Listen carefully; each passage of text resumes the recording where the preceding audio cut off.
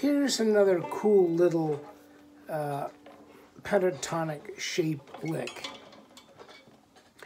If you're playing a three chord song, we'll say in the key of G, position myself, what we do is a fast three, two, one, watch the hand, arpeggiation. Now that's a G chord. Then we go to the G pentatonic.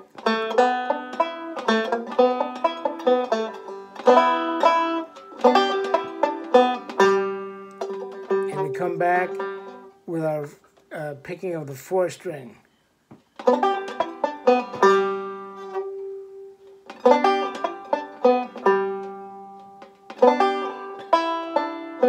One, two, three, four.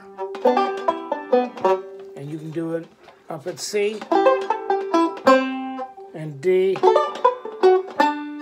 Now, how do you know that's the D pentatonic? Because it is one fret down and one string over.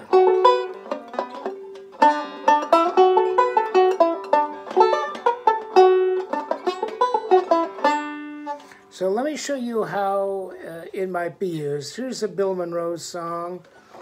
I think I might have the volume a little too low. We'll try it.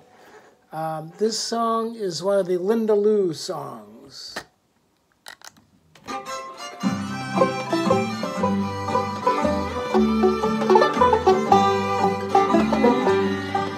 the state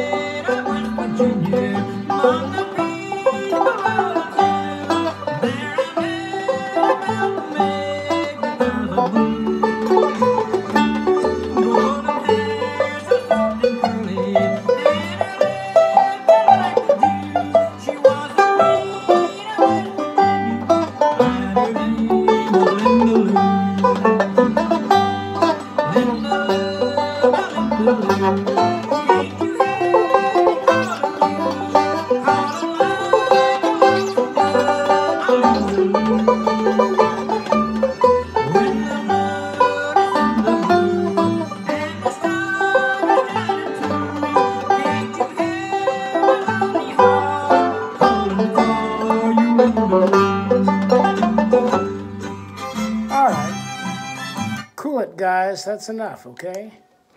Anyway, you get the idea. A lot of things you can do with the pentatonics.